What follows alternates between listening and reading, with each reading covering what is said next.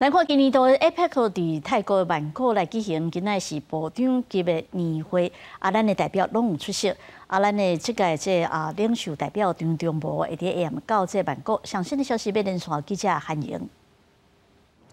二零二二年的 APEC 峰会现在正在曼谷举行，而今天早上先登场的就是双部长级的年会。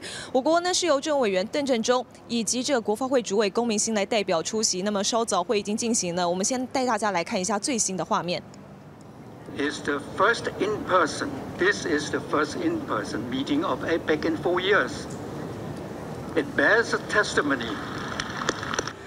那么，透过这个最新的画面，就可以看到，其实邓振中他入场的时候呢，跟各国的部长其实都有一些自然的交流互动。那么这一次我们所安排的座位，其实就是在这个泰国主办方的旁边，而另外一边呢，则是美国的代表，是由这个国务卿布林肯，还有这个贸易代表署的署长，他是戴奇，他们都有来出席。因此，台美双方会不会在这一次的会谈当中呢，有一些场边的互动，或是谈论到 CPTPP 的问题，其实也相当令人关注。那么对面的。话呢，其实也有日本的代表，日本的部长则是由这个呃外务大臣林方正他来代表出席。那么结束这一场部长级年会之后呢，邓振中跟龚明鑫也预计会在下午晚间的时候呢举行记者会来向大家说明。那么另外一个重点就是张忠谋他会在今天的晚间来抵达泰国曼谷，那么侨胞会在饭店迎接他。